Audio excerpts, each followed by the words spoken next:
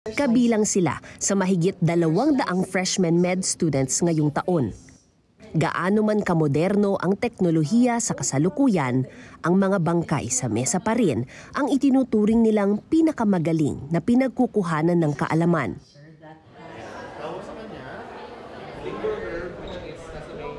Gaya na lang ni na Jillian at Anton, Mas na-appreciate ko yung labs. Doon ko po talaga na-visualize, nakikita. So parang mas na-appreciate ko. So parang nagka-complement naman po sila sa isa't isa. Kakaibang karanasan naman daw para kay Jillian nang makaharap niya sa unang pagkakataon ang mga silent mentor sa laboratorio. Sa umpisa po may may parang maninibago po talaga. Parang may may pagka-shock factor po talaga 'yun. Kasi yung parang kasi kapag cadaver ng tao, may isip mo talaga ah buhay po to dati, buhay sila. Pero bilang isang medical student, hindi mo dapat sila tingnan bilang at tingnan bilang bagay lang, bilang dapat bilang tao. Aminado si Dr. Bundok, mahirap pag-usapan sa labas ng laboratorio ang ginagawa ng medical students. Malaking bahagi ng kulturang Pilipino ang pamilya at relihiyon. Para sa iba, labag dito ang paggamit ng katawan ng tao sa pag-aaral ng medisina. Sa kabilang banda, importante rin ang masusing pag-aaral sa larangan ng medisina. Para sa mga tubong marawi na medical freshmen na sina Haz at Nana, wala namang issue sa kanila kung kasama sa pag-aaral ang aktual na bangkay ng tao. Mahalaga raw kasi para sa kanila ang mapalawig ang kaalaman sa medisina. Pinsan ko parang it's a very simple disease, dengue, ganun. Pero hindi siya nagagamot kasi kulang nga. Tsaka walang pumupunta ng probinsya, mahirap siya ma-access. So yun nga, parang naisipan ko na, why would I just complain about it every day when I can do something about it? So yun, naisipan ko talaga na maybe the, the best thing I can do is to become a doctor for my community. Sa paniniwala ng mga Muslim gaya nila, dapat inililibing agad ang mga patay. Sa amin po, uh, it's you give them the same respect you give to people who are alive. Kaya yun nga po, um, you bury the body as early as possible kasi they deserve that respect. So yes, there is a conflict kasi uh, in my family, I don't know about the other ano, Muslim families kasi sinasabi sa amin parang uh, what the dead feels, parang nafe-feel niya pa rin yung na- na-experience niya kahit patay na siya. So parang sa amin, uh, if in this cadaver dissection, of course, parang medyo parang not as sure about it. medyo Saka- iffy, oh. Oh, medyo if we still feel a bit iffy about it. Pero of course, there are exceptions. And yung exceptions dito is if first, if it's for the sake of learning, and, or, and second, if it's for the sake of parang autopsy, mga ano, uh, investigations.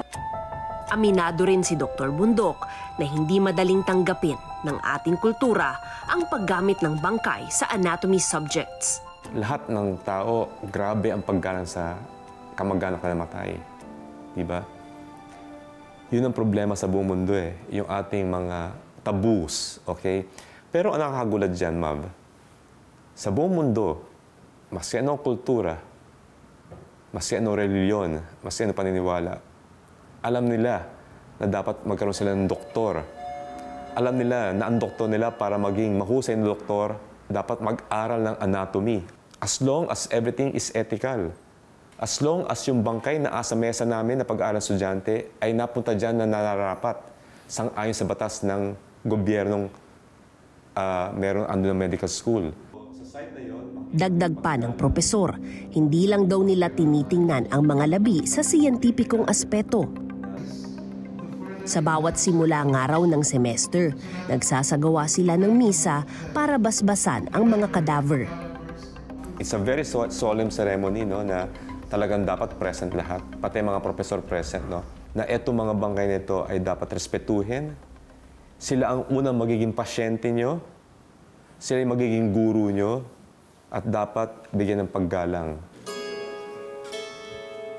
Gaano man karangal ang adhikain, hindi pa rin madaling makumbinsi ang marami sa atin tungkol sa voluntaryong pagdodonate ng mga katawan ng namayapang kamag-anak. At ito ang problema ngayon ng UPCM. Kulang na ang mga bangkay para sa laki ng klase.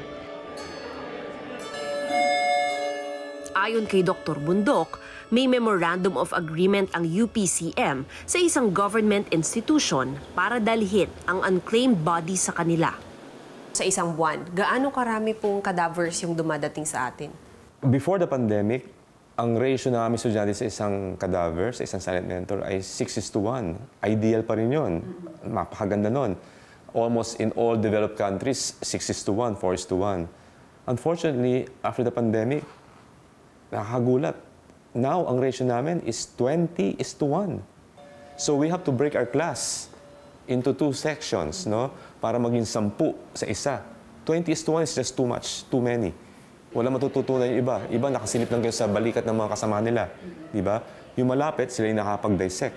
Dati, 6 is to 1, lahat sila nakakahawak ng gusto na na nakikita nila yung kalamnan na mabuti, na nasusuri nila mabuti, na dadissect nila na maganda. Opo. And you feel, Doc, na nakaka-apekto talaga sa quality ng magiging graduate? Definitely, definitely. Dapat talaga manumbalik yung dati naming ratio na 6 to 1, which I'm afraid is going to take some time. So kung magko-contract Mas marami na rin daw medical school ngayon sa Pilipinas, kaya marami ring nag-aagawan sa limitadong supply ng mga bangkay. At matapos maging batas ang Doktor para sa Bayan Act na nagbibigay ng medical scholarships kapalit ng serbisyo sa bayan, mas marami ring estudyante ang nangangailangan ng silent mentor. Kapag doktor ka na, sa bilis ng teknolohiya na dumadating sa atin, no, ang daming gamit na dapat matutunan ng isang doktor sa paggamit. So maski espesyalista ka na, nagbabago yung mga instrumento, gamit para pagalingin ng kapwa natin Pilipino. At dapat matutunan natin parang gamitin yon. Para matutunan natin para gamitin yun safely, we have to practice, mas pangit na pakinggan, practice on cadavers. Diba? Alam ko sa kababayan natin, ang pangit ng salitang pinagpapraktisan eh. Pero ano pipiliin mo? Pagpraktisan ka, ikaw unang gamitan ng instrumentong yon, nabuhay ka at magkamali? O mag-practice muna isang espesyalista sa isang bangkay o cadaver? Ang tawag namin sa cadaver, ha? hindi bangkay. Silent mentor, tulog na guro. Anumang espesyalisasyon ng doktor, kailangang dumaan sa anatomy classes. Kaya malaking problema na kulang na ang mga katawang pwede nilang pag-aralan. Mula 1905, ngayon lang daw ito naging problema sa UPCM, sabi ni Dr. Bundok. Mula sa 30 bangkay na pinaghahatian ng freshman students, ngayong taon, 10 bangkay na lang ang paghahatian ng 200 estudyante. At ang mga bangkay, kalimitang isang taon lang ang itinatagal. Kaya paano na sa mga susunod na taon? Dapat may gawin tayo. No? So we have to turn to technology.